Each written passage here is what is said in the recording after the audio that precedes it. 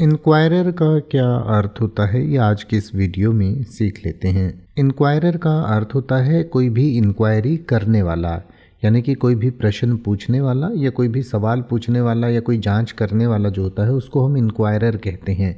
यानी कि प्रश्न करता या पूछताछ करता। जैसे कि अगर आप ये कहना चाहें कि मैं प्रत्येक पूछताछकर्ता को सूचना का एक पैकेट भेजता हूँ तो आप कहेंगे I send each inquirer a packet of information I send each inquirer a packet of information अब आप ऐसे ही किसी भी वर्ड का मतलब हिंदी और इंग्लिश में यूट्यूब पर सर्च कर सकते हैं। आपको मेरी वीडियो मिल जाएगी, जिसमें आप बिना किसी फालतू बकवास के सीधा उस वर्ड का मतलब समझ पाएँगे। तो ऐसी ही वीडियोस को देखते रहने के लिए चैनल को सब्सक्राइब करें और बेल आइकन को प्रेस करें।